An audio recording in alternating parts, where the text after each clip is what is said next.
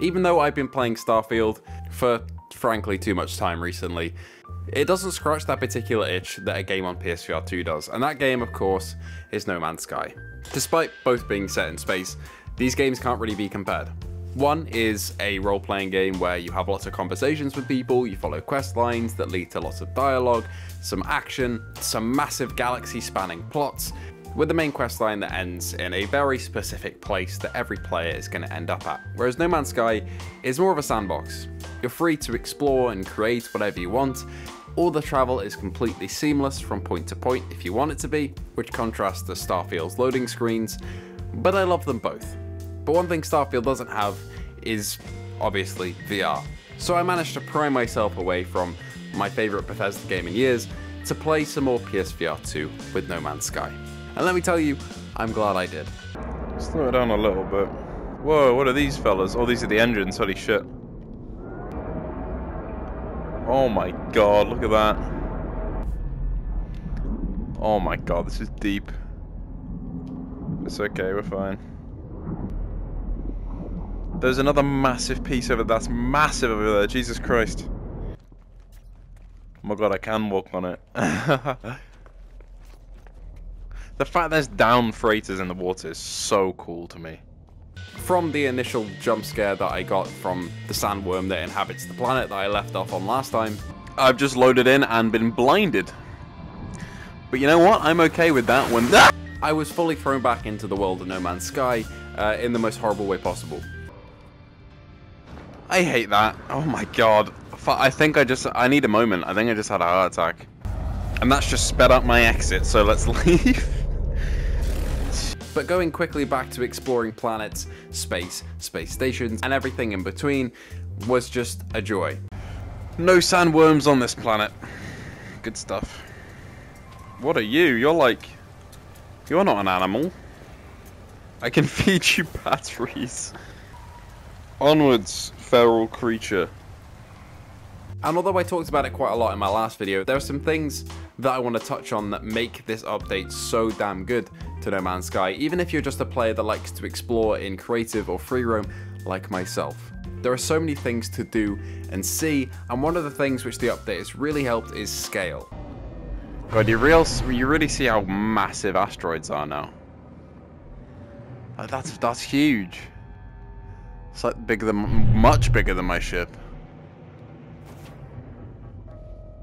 Previously, I'd fly out of atmosphere and see some asteroids, you know, in an asteroid field outside the planet's ring, and I'd think, that looks cool, but it's blurry as hell. But now, everything's crystal clear and it really puts it into perspective how huge some of these ice crystals and asteroids really are. There we go. Let's exit. Oh, my, my hands are backwards. Shit, shit, shit.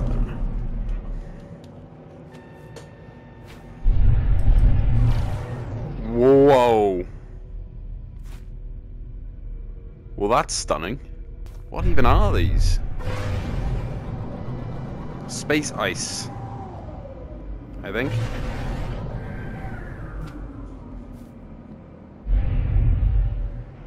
Wow. Oh my god. Again, it's the same as the last video, man. I was sat there thinking, how can all of this be rendered at once? How can this, man, like even those in the distance are rendered over there? How is this possible? If you're looking for basically a sightseeing game on PSVR 2, or a survival game on PSVR 2, or a space exploration game on PSVR 2, No Man's Sky covers all of that. You can either go around in free roam like I do and take in the sights, find different animals, species of plants, different types of planets, you can be creative with it, you can build huge bases, you can get vehicles to explore around with. You can go the survival route, pick a really harsh planet to survive on, and try and live there. There's just so much to see and do, and in VR, even with the restrictions that No Man's Sky has due to its very vast control scheme, it's still immersive as hell. Object of interest, oh! I wanted to see one of these. And now we're here with the new graphics. Yes, yes, yes. I'm so down. Take me there. I'm assuming in survival this will all, you know, be stuff you can salvage. For me, it's not really anything useful because I'm just exploring. But no, that's amazing. That was sick. I haven't been able to play co-op since the update dropped, and I also haven't been able to go around and explore some other players' bases like I've been recommended. I will get around to that, I promise. But honestly, this game is just something that I jump into to relax in. This and Kayak VR Mirage make up two of the most relaxing experiences on PSVR 2 if you go in creative mode on No Man's Sky. It's a great place to unwind after a day of doing, well, nothing for me currently, but it's still great and jumping back into areas like the Anomaly, which used to look like a completely blurry mess, and seeing them in perfect HDR clarity is awesome. There's the Anomaly. This is my first time going in here since the new graphics update. So I am very excited.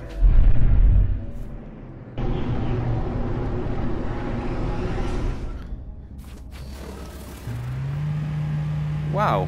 Uh. Okay, there's a lot more scale now, and everything looks like I'm seeing it with my eyes. This is a player. Player. I'm trying to wave at you. Speaking of HDR, the OLED screens are something that I haven't sung enough praises about because oh my god, they're incredible on No Man's Sky. One incredible planet, Jesus. It's the colors, man. It really is on this headset that just blow me away every time I look anywhere.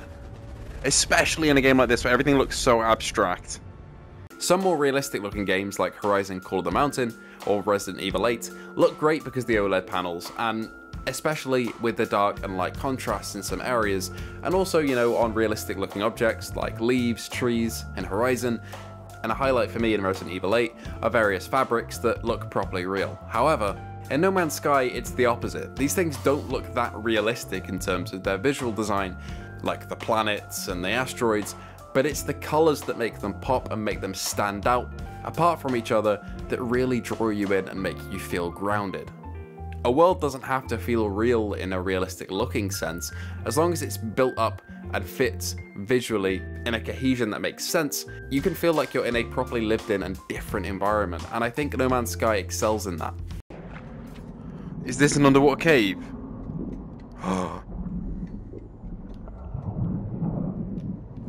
okay, no, it's an underwater hole. I got my hopes up. But anyway, I think that's everything I've got to say about No Man's Sky in terms of the visual upgrade. My final verdict on the update is that it's amazing. You should try it if you already have No Man's Sky or pick it up on sale if you haven't and you think it looks like fun. My next couple videos on this game will probably either be exploring other people's bases in VR or going on some derelict ship hunts because I find those really cool. But no matter what they are, I hope you enjoyed this one. And if you did enjoy, feel free to like and subscribe. And I hope to see you all in the next video. Everything's incredibly red and dead. When something's making squelchy noises, I think it's my legs. Um...